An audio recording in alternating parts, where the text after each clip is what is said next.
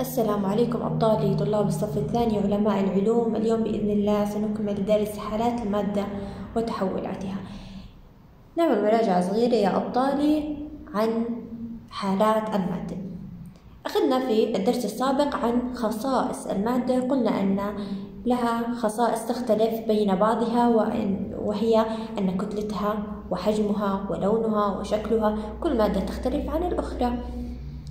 وأيضا حالات المادة منها حالة صلبة وحالة سائلة وحالة غازية أمثلة على الحالة الصلبة هي الدمية هل الدمية إذا نقلناها أو اللعبة إذا نقلناها من مكان إلى آخر يتغير لونها؟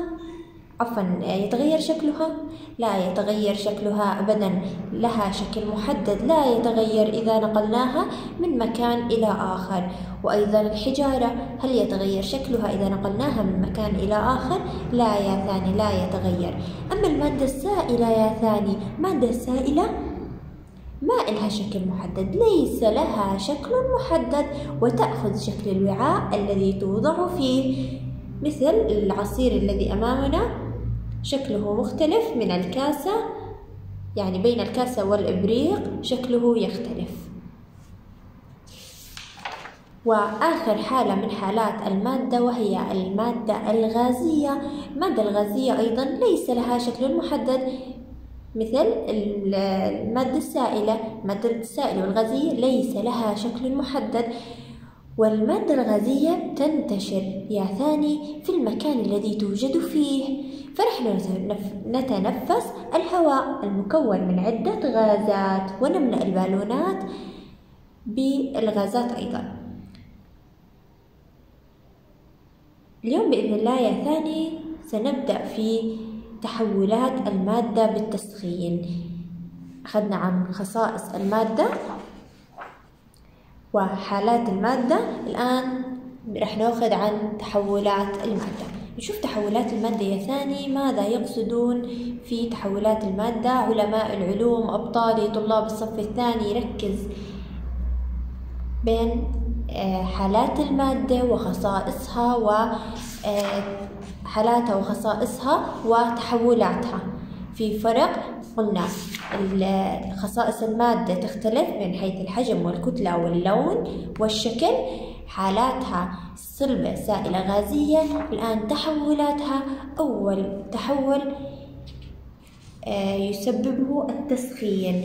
أول تحول يسببه التسخين. إذا نشوف يا أبطالي صفحة خمسة وخمسون تحولات المادة بالتسخين. نقبل على تناول المثلجات في فصل الصيف. نحن الآن يا أبطالي اقتربنا من فصل الصيف. في فصل الصيف متعودين يا ثاني نروح ناكل المثلجات. طيب ثاني المثلجات بنلاقيها في السوبر ماركت على الطاولة ولا بالثلاجة أو بالفريزر الخاص بالسوبر ماركت بالفريزر أو بالثلاجة أو بالحافظة المجمدة اللي موجودة في هاي السوبر ماركت ليش يا ثاني موجودة؟ البوزة أو المثلجات في في ثلاجات خاصة لإلها وهي ثلاجات مجمدة لكي تبقى صلبة لكي تبقى صلبة الآن يا ثاني لو أخرجنا حبة المثلجات إلى خارج الفريزر ماذا يحصل لها؟ ستذوب وأيضا في اللغة العربية هناك جملة اسمها ستنصهر ستنصهر. تنصهر ما ما معنى تنصهر يا ثاني؟ الانصهار هو تحول المادة من الحالة الصلبة إلى الحالة السائلة من الحالة الصلبة إلى الحالة السائلة. بماذا؟ بالتسخين. هي حبة المثلجات بتكون في الفريزر في آه، طقس حواليها أو جو حواليها جو بارد. لما نخرجها في الصيف الصيف راح يكون الجو كثير حامي فإذا ساخن. فهي انتقلت من حالة من الحالة الصلبة إلى الحالة السائلة.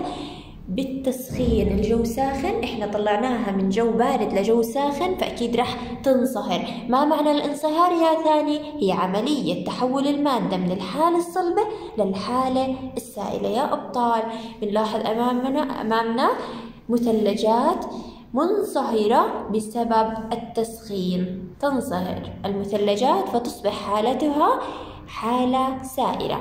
تكون حالتها صلبة تنصهر تصبح حالتها سائلة. تجف مياه الأمطار بعد سقوطها على الشارع بعد ساعات ويعود ويعود ذلك إلى التبخر. ما ما هي عملية التبخر يا ثاني؟ عملية التبخر يا ثاني هو عملية تحول الماء من الحالة السائلة إلى الحالة الغازية. إذا هناك أنواع من التحول إما من الحالة الصلبة إلى الحالة السائلة أو من الحالة السائلة إلى الحالة الصلبة عن طريق ماذا يا ثاني؟ عن طريق التسخين عن طريق التسخين إما تنصهر أو تتبخر إما انصهار وهي تحول المادة من الحالة الصلبة إلى الحالة السائلة أو التبخر وتتحول المادة من الحالة السائلة إلى الحالة الغازية كيف يا ثاني؟ الآن يا ثاني لو نحط إبريق ماء على الغاز. ونتركه. بنلاحظ إنه في بخار بيطلع منه. هذا البخار نتيجة التسخين تتحول المادة أو يتحول الماء من حالته السائلة إلى حالة غازية. يصبح بخار يصبح بخار وينتقل إلى حالة غازية بماذا؟ بأي طريقة يا ثاني؟ بالتبريد أو بالتسخين؟ ماذا استخدمنا؟ طريقة التبريد أو التسخين لتحويل آه، المياه إلى آه، من حالة سائلة إلى حالة غازية عن طريق ماذا يا ثاني؟ عن طريق التسخين تحول المادة عن طريق التسخين تجف مياه الأمطار إذا بعد سقوطها على الشارع بعدة ساعات يعني الآن يا ثاني لو اجينا على الشارع كان في آه، تساقط للأمطار. بعد بساعة آه، انتهت الأمطار ظهرت الشمس من جديد تبدأ عملية التبخر. بعد بفترة زمنية قليلة أو بساعات قليلة ستجف الشوارع تماما وكأنها لم تبلل في مياه الأمطار. ستجف تماما لأن مياه الأمطار أصبحت بخار أصبحت بخار وتحولت من الحالة السائلة إلى حالة غازية. أتحقق أتوقع ماذا سيحدث لماء وضعته صيفا في صينية وتركته في حديقة المنزل أسبوعا؟ قلنا مياه الأمطار تجف عن الشارع بعد ساعات فما بالك لو تركنا مياه موجودة صيفا يا ثاني صيفا تكون الحرارة مرتفعة جدا وأسبوعا. تركناه أسبوعا في حديقة المنزل. أكيد ستجف تماما هذه المياه. هيك يا أبطال بنكون انتهينا من تحولات المادة. أول تحول حكينا عنه بالتسخين.